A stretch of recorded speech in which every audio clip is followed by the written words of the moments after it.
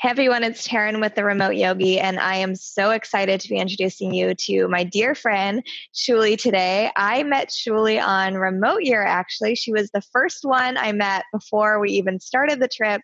I was out in Houston, and that's where she's from, and we got to connect and immediately felt um, sisterhood with somebody else in the community because we were both freaking out about what to pack and the adventure we were going to begin on. And then I got to know Shulie throughout the year. We were roommates at one point, and I loved the conversations she would bring. And she began hosting workshops on having hard conversations. And I knew immediately I needed to get her on this show and blog so you guys can have um, some amazing lessons from Shulie. And we're going into the holiday season. So we're going to dig into how to have some tough conversations as we get into holiday parties and family outings and all that fun.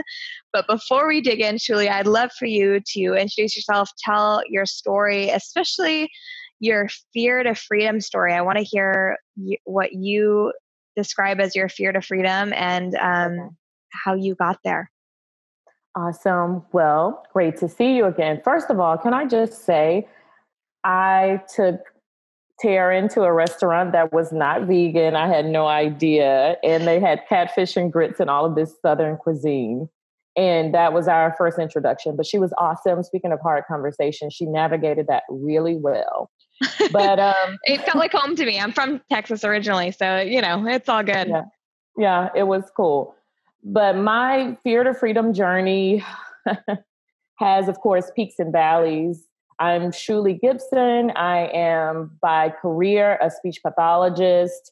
And what that means is I help people who have voice problems and those who have fears of expressing themselves. I help them to have the freedom and confidence to communicate. And I call it speak success because our words have power. We have the power to create or destroy with the words. And I give the people I equip them and empower them with the tools, the attitude, the skills, and the knowledge to speak their success and overcome the challenges, whether it's career or in personal situations.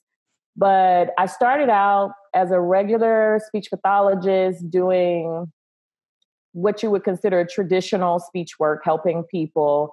And then my life just took a turn. My dad died and he had prostate cancer and he transitioned and as a result i took on my siblings um, three kids. I was 27 years old and my life just changed drastically. And i've had to have a lot of hard conversations. I went through a lot. At that time i was so focused on my career so focused on ticking and checking boxes and making sure that my life lined up and i lived the life that i wanted to live and then I had this huge obstacle and I became free as I learned how to navigate it. But for the longest, I wore this mask. I was the good little girl, the person that everybody wanted me to be, the person that I needed to be. And when I look back at it, I had so many fears. I woke up in like 2015 and I realized that, damn it, I was scared. I was scared, mm-hmm. like afraid that I was going to be a horrible mom, that I wasn't being the best person I could be, that I was not showing up in the world. And from that moment of awareness, my life just took on a different turn. The universe stepped in, and I've been growing ever since. It became apparent to me that most people do not overcome their fears because fear looks like loneliness and sadness and changing up your whole world. And when I embraced it, I did. I had a lot of loss. I had a lot of conversations. People thought I was crazy, losing my mind, especially when I told people I was selling my house and traveling the world for a uh-huh. year with a group of strangers. And it was the best decision I ever made. And so we're here. And you touched on a bunch of things I want to bring it back to, but I think one of the the big things that you touched on was you know the fact that a lot of people get stuck in these fear patterns and i talk about it a lot in my blog the limiting beliefs that we hold for ourselves and and then when we do start on that personal development journey it can be really lonely um, because mm-hmm. usually unless we have guidance around us and people are already on that journey usually it's you start on your own and sometimes your friends catch up with you sometimes they don't and that can be a big challenge or when your family doesn't catch up with you and you're starting to kind of progress um, in the opposite direction so yeah, the loneliness yeah. you mentioned. I people ask me about that all the time on my blog. Mm-hmm. How did you deal with that as you were making these decisions that you knew would be best for you, even though your tribe around you was not on board? Yeah. My tribe in my family tribe that I was born into tribe, but then I had a couple of people that really supported me. Two two important people, my friend Pat and my bestie Kenya. She lives in St. Louis. And when I told her I got accepted into remote year, because I didn't tell anybody, I just applied and I was kind of dealing with it like, I got in. What am I going to do? Like, am I really going to go?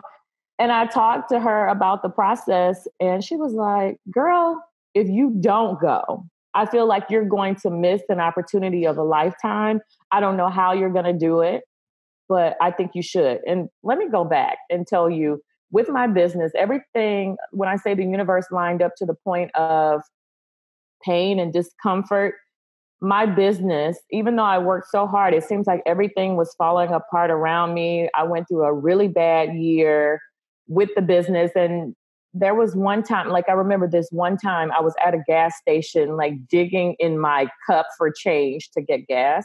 Like it had gotten that bad for me. So I was like, how in the world am I going to go on a trip around the world when everything in my life is so inconsistent? I think that's the part I didn't share on remote year. Everything in my life was so inconsistent. And she was like, I just feel like you should go. You should trust it. You got in. That means something. And this is not the time to start back being scared, basically. And I did it. I said yes. And then the world just opened up. And I'm telling you, I sold my house within a month.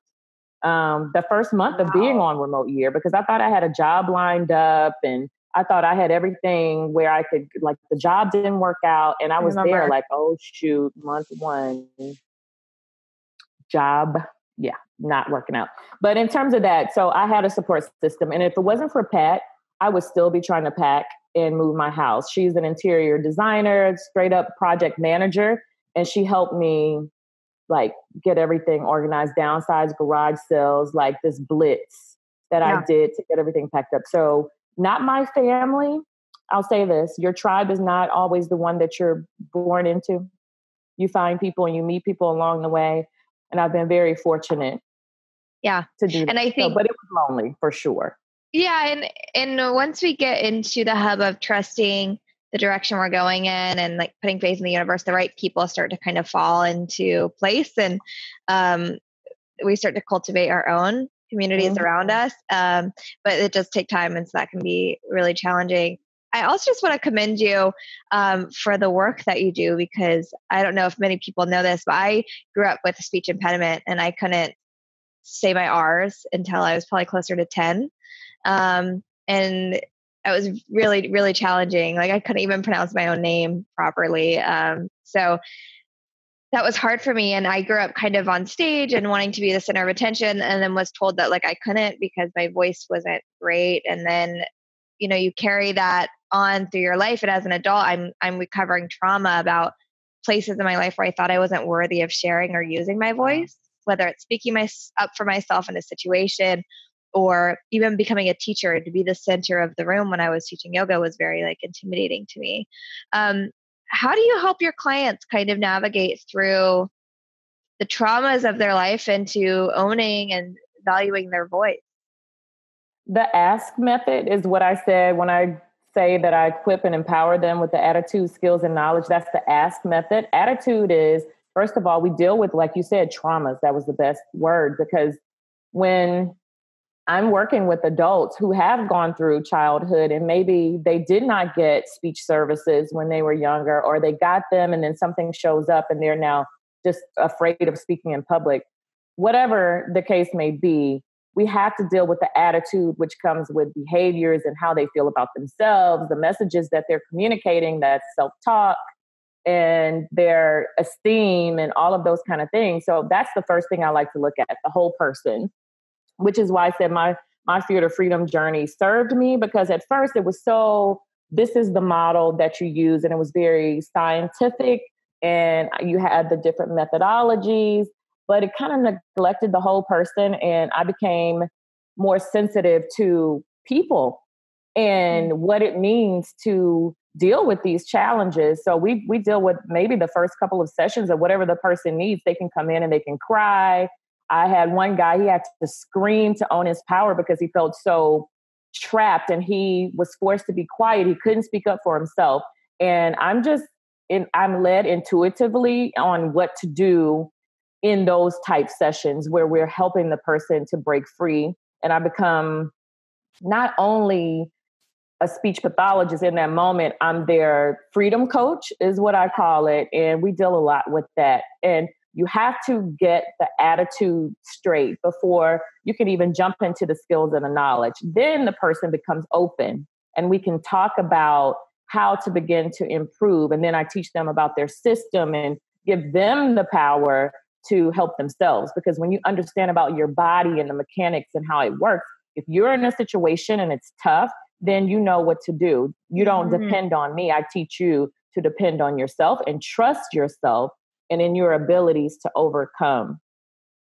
That actually makes a lot of sense because I find mm-hmm. when I'm working with clients who are having depression or anxiety or stress issues, once I can teach them how the brain's working when they're feeling stressed and anxious, when I can mm-hmm. show them the mechanisms of the brain and, and the ways we can naturally kind of work against that, it's so much easier to feel in control when you know it the mechanisms. Is. And that I never thought about that with the voice too. Like it's less intimidating to be in front of an audience when you know what's happening or like what's, yeah. you know, what's going on with your voice. Yes, for sure. I love that. So coming up on holidays, it's we're filming mm. this right before Thanksgiving, but this will be coming out uh, before Christmas. A lot happening around the Christmas season, whether it's office parties or family functions or, you know, places you may or may not want to be. Um, I noticed that sometimes when I used to work corporate environments, people are, you know, getting drunk or talking about things that maybe I'm not comfortable talking about at an office party or family party, whatever it is. Um, and sometimes it's not the right environment to like have that hard conversation right then and there. What are some tips that you might have for like politely excusing yourself from like awkward situations at parties? That feeling i'm i'm in the moment right? I'm going to a moment when that person wants to pull you aside to have a conversation about something happening because I feel like going into it, if you know that you've had a challenge with the person, sometimes you're thinking about it anyway, like, oh my gosh, I have to be in this environment with this person that I feel some type of way about. And maybe we do our best to avoid because most people do avoid those hard conversations, and about 50% of people avoid the mm-hmm. conversation. And certainly the office Christmas party combined with libations is not the best time to do that.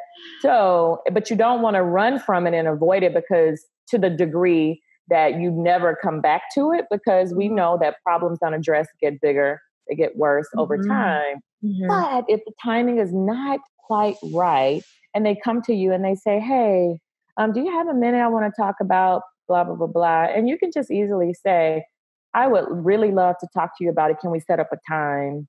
Maybe once we get back to work, like let's enjoy the night. But if they mm-hmm. outright confront you, you have permission at that time to just say, Excuse me, I'm not having this conversation with you right now. It's not a great time. You can be as assertive as you need to be. You can try the polite way and set another time. Or you can just say, I'm not having this conversation with you right now. It's not a great time to do it. Or if you are not good with that, at all and that's a little bit too hard still to do that hard walk away. You can just you can just say excuse me i need to go over here and talk to so and so. Let's well let's chat later. Like yeah. you can be nice as nice there's an assertive ladder you don't have to be aggressive about it so you can do the make up an excuse if you will and some people just need to do that because that's hard. Right like it's, it's very hard. vulnerable to say that like I'm not comfortable having this conversation right now. That like puts you in a vulnerability place. Yeah.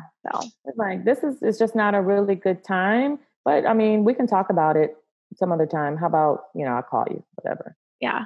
Yeah. Now, in the instance of a direct belligerent, um, a belligerent confrontation, just walk away. yeah.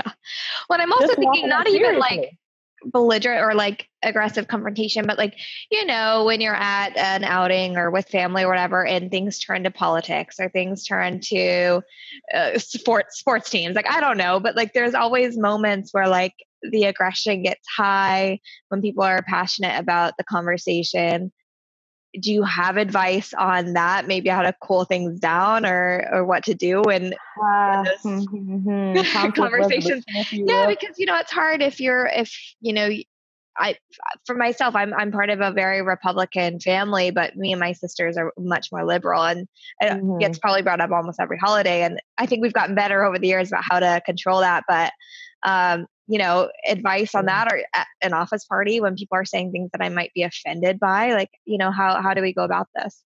Okay. So when it comes to offense, you can state the offense. And again, and I'm saying this based on personality. Some people it's hard and they don't know what to do. I'm this like the freezer, right? And it just scares them and it makes them all hot and nervous. Their face gets hot. They start sweating.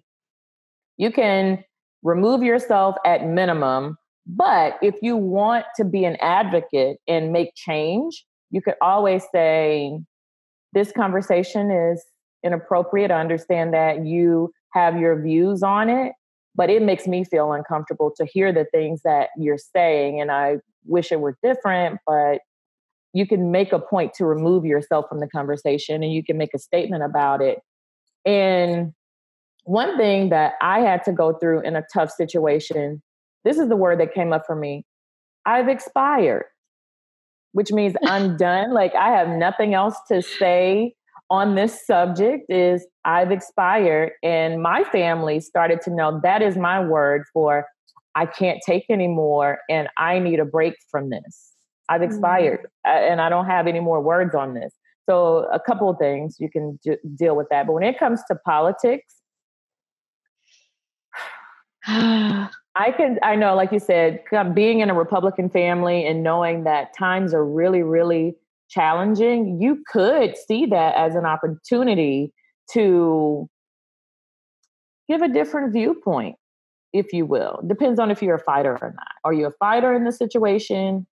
Tell me because it, it, depends on if you're a well, fighter think, or if you're i think a lot of my audience is is more on like the, the personal development track the spiritual track they're trying you know not to be aggressive in these situations they don't want to build the heat um, mm-hmm. i think you know a lot of us are trying to figure out how to have hard conversations in the right environment like let's say okay let's say it's in a safe space where we can comfortably talk and there's not a lot of booze involved and um, okay.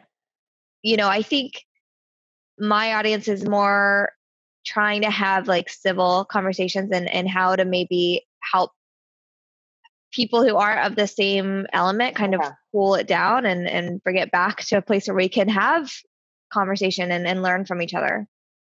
Okay.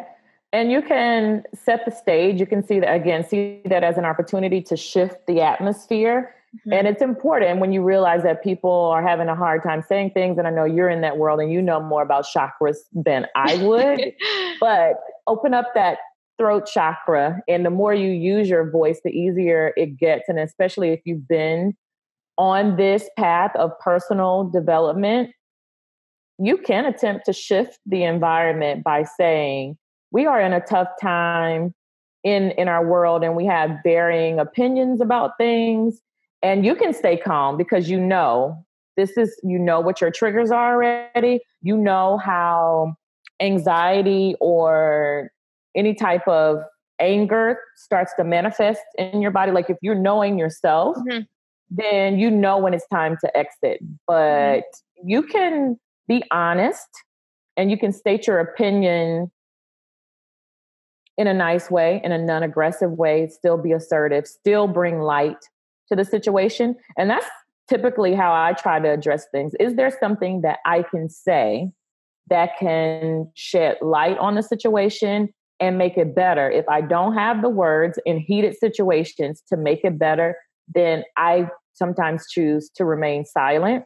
Mm-hmm. I put a quote on my social media the other day. A wise man once said, Nothing. And you have to judge will this matter in five years? Like if you're going through this in your head and you're mm-hmm. like, oh, doing the whole double dutch. Should I jump in? Should I say something? Can I shed light? Will it matter?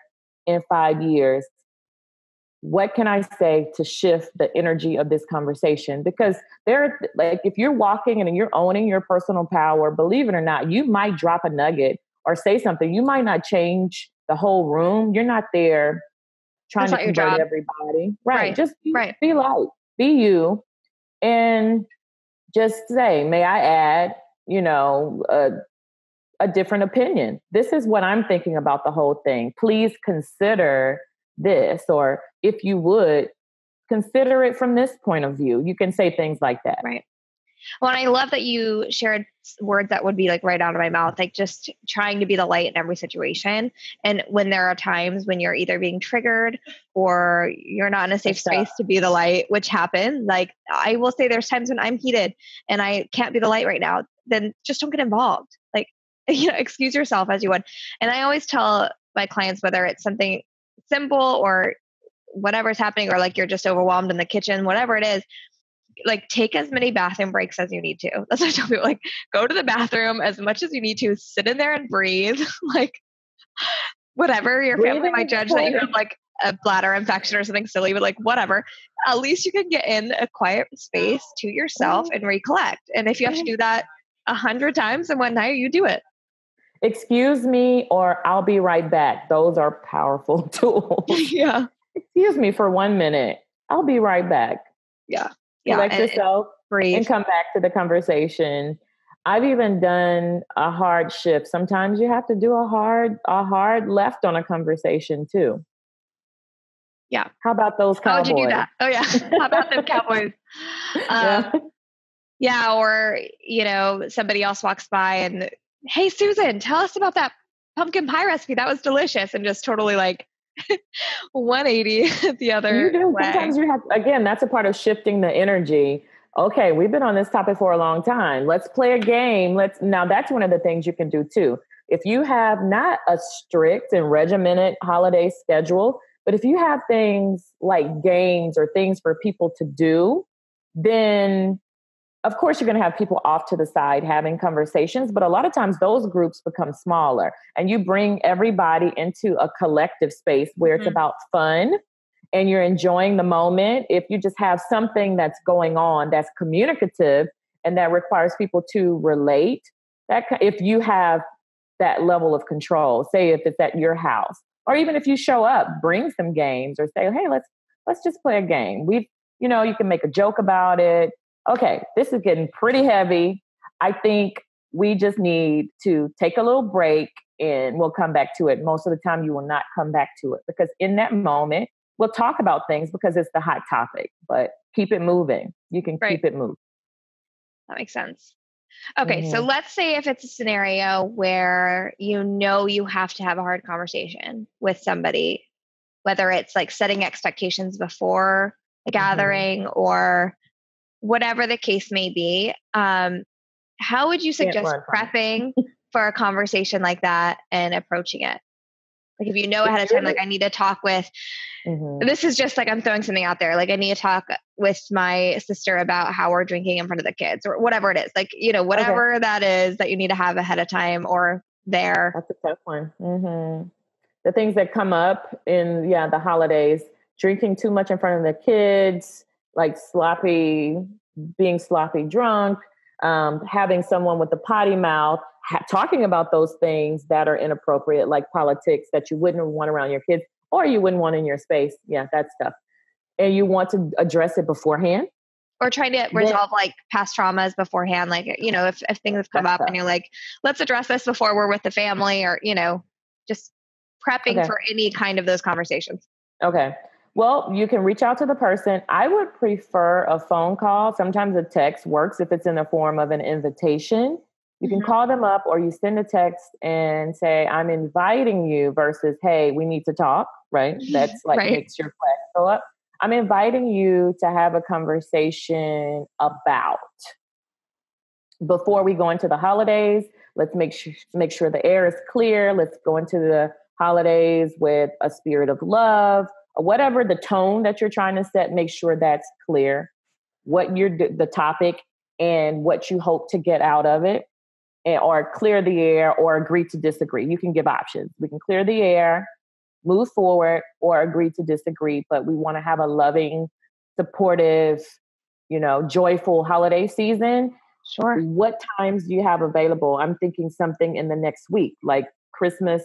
Well, it's kind of late for Thanksgiving, but for Christmas, or if you know in advance, try to do it at least two weeks ahead of time. That way you can process your feelings mm-hmm. and you can get over it and bounce back and be okay in the situation. So set a time, set the tone, and then set some ground rules, such as let's do this and do it without name calling, without blaming, without attacking someone's character. Let's address the behavior. If you need to give me examples, we can use I statements when we're talking about it. And we have to stay on topic. As hard as it can be, in those emotional times, we have to stay mm. on topic, stick mm-hmm. to the offense, not mm-hmm. How you've hated them all their lives because they got all the Care Bears and the Barbies, and you got a regular old stuffed brown teddy bear. And so I became jealous of you in that blah, blah, blah, blah kind of right, thing. Right, right. And, and but you can say we've had issues over time. Right. And it's right. showing up in our lives now in this way. And this is the thing that offended me. And it made me think about where this started in me and I've identified that, but I want to talk about what's going on now. So you can acknowledge right. that. Another thing I've had to do too with with people who send, seem to hold grudges or bring about things that we've already discussed several mm-hmm. times. A thing that I've learned really works for me is I'll just say, like, if they're trying to bring out something that we've already cleared, or so I thought, you know, I, I say, hey, you know, I, I thought we had already settled this in, in whatever conversation. Um, yeah. Is there more to address, or can we be finished with that conversation? And like usually it reminds them that like they might have forgot that we cleared the air on that already or you know whatever and it just yeah. like holds them accountable for like the fact that we're like going in circles now like let's right especially that. if you said if they said that it was okay in that moment right. and they didn't mean it and that's when it usually pops up again or something else happens and then they're reminded yeah. of that thing like you said so that's or they might perfect. invite them to say hey, I thought it was settled in that conversation, but this is clearly still affecting me. We still, right. There's still is more. Is there something else that you didn't get out or we didn't address? Yeah. And you're good about initiating. I remember when we were roommates and I was like, okay. um, you, I, it was what within the first week or first few days, and you were just like, let's let's talk and about being roommates, and you already kind of let's have a talk about expectations. And I was yeah. like, okay. I hadn't done that previously, and it was pretty cool. I respected it. And we talked, and it was good. I felt like we had a really good month. You worked a lot, though. You worked during the day. Oh my god! But you're yeah. you're good at initiating. Yeah, and when you are the initiator, it allows you to take control and set the tone, and really yeah. have that time to prepare. So if you know that you have a challenge with somebody, I'm saying this to help someone. If you know that you have a challenge and it's tough and you can no longer avoid it, even though it could be very uncomfortable, initiate it. Think about what you want the outcome to be, but then also release the outcome because you don't know what the person is going to say, right. if they right. will receive it or respond in kind. But if you do that, at least you walk into the situation feeling like you have a sense of control, not like in a controlling way, but control of yourself. Right. You're taking the onus to initiate it. You acknowledge that it's a challenge and go from there. Yeah, the, this, you know, something happened very recently in the last six months when I was uh, at home. I had a, a challenge with a friend and I just felt like he was being really rude to me for no reason and I was really heated about it at first and I I like don't usually get heated so that was really bothering me that I was mad and I, you know was and I was like this is just not like him and how dare he do these things? And so yeah. then when I finally kept repeating that to myself I'm like oh wait this isn't like him. So something else must be going on. So before I address this conversation with him I need to pause and have some empathy because again, this is not his normal pattern. So the fact that he's being so mean is not something else is up. And so I was able to to take them out for coffee and instead of saying, Hey, like you've been so rude to me lately, I immediately just said, Hey, I've just been noticing like you've been behaving different lately. Is everything mm-hmm. okay? And they just like let out a ton of emotion and were like, I feel like no one's paying attention and I'm so stressed and overwhelmed. And and it was such a different conversation. But if I had gone in it in that heated moment, because yeah. I was mad at how they had treated me, and I was able to release that, and we had such a good conversation mm-hmm. that would have happened That's, without pausing. You disarmed, yeah, you disarmed that that tension, and you allowed it to unravel in that way. One of the best questions is, "Are you okay?" Yeah. Sometimes people don't even realize they're up here. And when it comes to holidays and planning and cooking and preparing, if we're, you know, thinking about those subjects like anything, that's how it's easy for things to escalate. It's easy because we have our own stories going on, maybe oh, bad oh, things happen. Yeah. like, I gotta get this. It's it just just doing this. The holidays are anxiety inducing, or maybe some people get depressed around the holidays or just all of those things that go on. If you're a single person, maybe you lost a loved one, the holidays bring up all of these emotions, they bring them to the surface. Mm-hmm. And when you pair that with alcohol or you're in a group setting and it's high energy, some of that stuff can act as an irritant. Whereas, like you said, the person would normally be okay, but then here you are in this high energy situation where also you feel like you have expectations to be jolly. Yeah. You have expectations to be free flowing and you have all of these expectations to be in this positive mood for the holidays when you're maybe you've been masking and maybe you've been hiding it. So I would say this, be aware of yourself, how mm-hmm. you're feeling inside and if you're managing that, not even managing like pretending that it's not there, deal with it figure out what it is. And when you go and someone says something, then it's easier to be like, it's okay, like you said, or to notice. Right. One of the things when I was going through through things with my sisters, because you know, sisters can go back and forth. And when you get older, I'm from a family of strong women, like women with strong personalities. We're from Louisiana. We say what's on our mind. We can be very spicy. And sometimes we forget that the other person has feelings. And if you notice that this person is different, what I would have liked at a time in my life is the are you okay? I noticed something is different. Like this is not like you. Things like that. This is not like you, or I'm not used to this. Is there something going on? Just to ask before we jump in trying to fix or, like you said, address. A hard conversation is only hard when we feel like there's a fear that we don't know what to say, we don't know how to handle it. And even if you get nervous about it, it's uncomfortable, but it doesn't have to be hard when you go in with an open mind, even if the person, again, does not respond. I have to say that. Right. The person just might not respond, they might shut down, but at least you've provided a space for connection. Mm-hmm. Mm-hmm. That's all you want to do to heal and to connect or to resolve. And I think a lot of what we've discussed so far is is more maybe like our personalities where we're a little bit more assertive when we need to be and we're not so afraid of of starting mm-hmm. the conversation. What would you say to people who are a little bit more shy or introverted who are knowing that they need to have a conversation but like just cannot bring themselves there? What are some tips that they can be practicing to kind of get them the courage to speak their mind? Write down the questions that are well think of questions that you would ask of the person. What is it that you are expecting to come from this conversation? That's a good one. Like what do i want to have? Is this for me? Sometimes it's for us to be brave. Sometimes it's just for us to stand up and to finally have the opportunity to speak our mind um, what is my problem? Ask yourself that really what is my problem? Because sometimes that inciting incident is not the actual problem. Mm. you can come up with a script of how you want to start it. Again thinking about thinking through what the problem is what is it would that you would like to say that if you feel like you would get nervous you might need some help? Write it down script it out. You can practice with someone go practice in the mirror. Friend, yes. I like I like standing in Superman position and practice in the mirror. Yes, power mm-hmm. pose.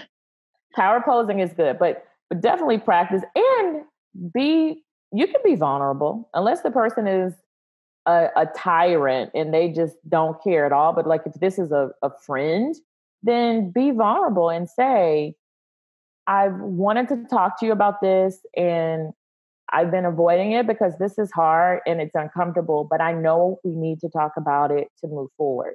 So start with something like that that's saying, This is uncomfortable, mm-hmm. but I'm going to do my best to say what I need to say because I feel like it would help us. And I'm going to throw in here as well that, like, for women, especially, and this some men as well, we've been told our whole lives maybe that we're too emotional or, yep. you know, we get yep. too emotional in conversation. And, and knowing that like that is totally human and that's how we build connection is through allowing ourselves to be emotional and to be sensitive yeah. and to just like give ourselves the time like if if we need to like pause in a conversation because we're getting emotional and mm-hmm. not beat ourselves up for that knowing that that is just us being brave. and that's perfect. Yeah, brave doesn't always look like, you know, brave. brave. Sometimes brave, if I go into my Brene Brown, sometimes brave is just showing up, you know? Yeah. So, yeah, that's true. When you're changing that, and I'm so glad that we have people in that space that are, are changing what brave looks like, changing what courage looks like. Because I used to be like that too. I'm a I'm a crybaby in the sense that if I'm saying something that's emotional, it comes out in the form of tears. And I could be angry about it. Yeah. I can be touched about it. I can be happy about it. But if I stand up and I start saying it, then it used to make me so mad because my voice would get shaky oh, and yeah. you know all of this and then the I tears we chatted about this Shulie when we were roommates that like my emotional range between like four and six is like neutral, smiling. Everything else is tears. So if it's too happy, too sad, too whatever, like even just like slightly off from normal mm-hmm. balance mm-hmm. center, I'm I'm in tears.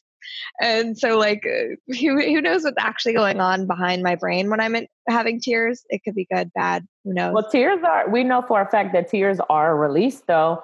And yes. when I learned that, that helped me a lot. And on my my personal freedom journey, like before because of the fear and the mask and needing to appear strong, I was in a place where I, I appear very nonchalant. I'm pretty laid back for the most part anyway, right. but just nonchalant and almost stoic about certain situations and keeping my game face on. And I'm still working on that.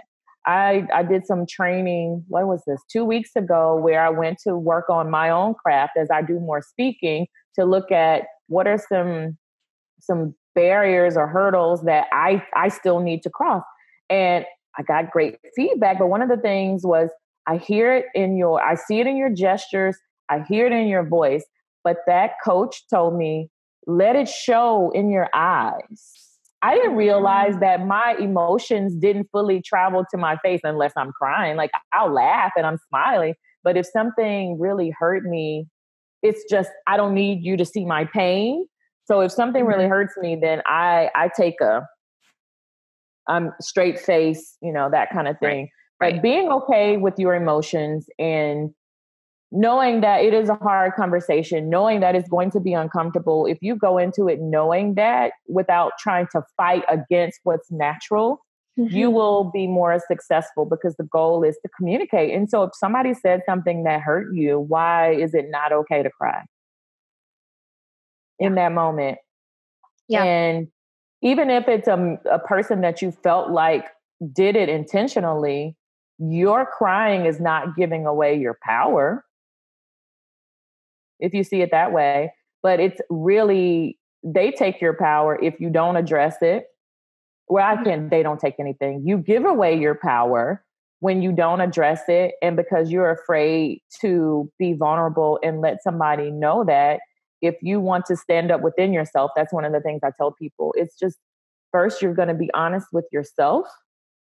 And then it's easier to be honest with other people. And again, it doesn't matter if your voice shakes. Doesn't matter if you cry. It, that that doesn't matter. Like, are you communicating the message from your heart?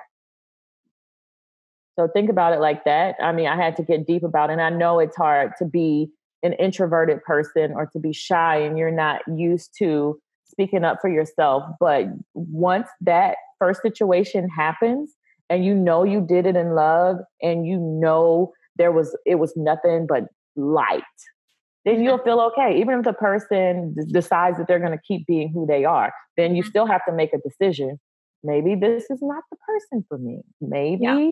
it was telling in itself and i think not you didn't invite me on to talk about relationships but sometimes we are also trying to hang on to things that are not serving us and so maybe it serves as a lesson like maybe we need to reprioritize the value of this relationship especially if it's tearing you down.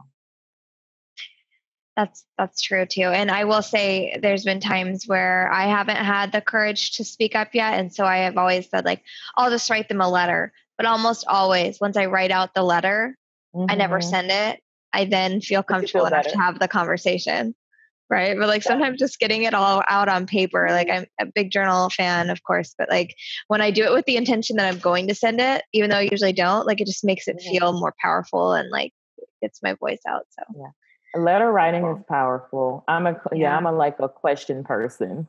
Like I still write it down. Your question. The power of the pen. It's the power of the pen. Yeah. Absolutely. Oh, something happened. Well, oh. I think that kind of summed up a lot of what my questions were as far as conversations. And I think you gave some really great tools. I'm going to sum up in our blog. Um, but wow, thank you so much, Shulie. I'd love to know, like, what are some of the projects you're working on right now? Right now, I am working on my conversation starter t shirt line. As we've talked about before, my goal is to empower people and equip them with tools to improve their communication. And the conversation starter line is fun, it's sassy, it's educational, mm-hmm. and they're t-shirts like it's sexy to speak correctly, um, words that are not words. It's just a nice, fun way to let people know that irregardless is not a word or I, I have things on my social media post and it's not in your face it's not attacking people who don't know it's just like putting it out there just in case you didn't know now you know it's sexy to speak correctly. I feel That's like. Communication, yeah, communication is not a lost art, and everything about this line is designed to make communication fun, to let people know that it's it's sexy and it doesn't have to be blah. Communication is it's how we connect. It's how we re- how we relate, and it's time to get back to the human side of communicating because social media and all of that stuff is cool, but let's get back to being human. Mm-hmm. Mm-hmm. That's it. I so love that, it. Love it. Yep. Thank you. Oh, and how do you find them? You can yeah. go to s3ish.com. I can't forget about that. S3ish.com. S3ish.com, and I'll put yeah. that somewhere. The letter S, the number three, and ish, because it's a little bit of grammar, it's a little bit of sass, it's some communication all in one. And then get ready for my ebook, The ABCs of Vocal Image. So it's tips um, the Beatitudes of Speech, letting you know how to navigate um, communication and speaking in public. That will be out in January on Amazon. Yay! And where can they find you, Shulie, if they want to reach out? Social media? What's the best place? Yes. Where are you at? I'm on Instagram. I'm on Instagram and Facebook, but Instagram, if you want some speech tips, go to Speak Success Inc at Speak Success Inc. And then if you want me at Shulie Gibb underscore speechy nomad. So you can find me. I'm all over. I'm dropping her travel. Tips. Yeah. I'm all dropping her photos. All my travel photos, my personal side, me being sassy, me having fun, and then also sprinkling in tongue twisters, um, speech tips, and not words. Love it. I'll throw some in the blog post as well so I can see some of your awesome tips. Uh, thank you so much, Shulie. It's been such a pleasure, and I can't wait to get together again. And I'm sure I'm going to be hiring you as a coach when I start, you know, touring the world with my talks. We'll You're see, welcome. putting that out there in the universe. You're welcome. I'm awesome. I'm here. I know. I have to. We have to connect. And can I just give you a quick blessing? I'm sure. going to hijack. Okay like you said, you have that out there, it's in the atmosphere. And right now, I am standing in agreement with you. Taryn, you are amazing. And I have seen your growth all throughout remote year. I'm one of those people that you have to convince me, right? Like in terms of you don't really have to convince me, but I'm a watcher, and that just means I'm a watcher. I'm an observer, and I watched you be consistent, and I watched you be diligent, and I watched you stay in the fight, and I watched you be strong, and I watched you be vulnerable all throughout remote year, and I watched you be love all throughout remote year and something I probably never shared with you that there were just parts of you that reminded me of me. Like, really, I could tell that you had it in you and you had purpose in you and you wanted it and you were really driven. And your 2019, I wish for you that it is amazing and mind blowing in ways that you didn't even think about, in ways that you didn't even plan for, that you sit back at the end of 2019 and just think, what the heck just happened? Like that it's on that level of amazing for you and that you have more and more courage that you have more and more freedom in a way that is effortless. Thank you. Thank you so much Shulie. I'm like over here getting all ah. thank you. Thank You're you welcome. so much and i i see that for both of us. I just like the next year every year moving forward just the growth. Um and this is what it means to really cultivate your tribe, you guys, to bring people around you who are going to encourage you and, and keep you moving and hold you accountable to the things that you say you're going to do. So thank you so much, Shulie. I love you. And it's such a blessing to have you on here. And I can't wait to share you with everyone. All right, everyone, make sure that you subscribe if you're watching this on YouTube. Check out the blog post. I'm going to be giving you a lot more information on Shulie and sharing some of her tips over there. So head on over to the blog and we'll see you again next week. Bye.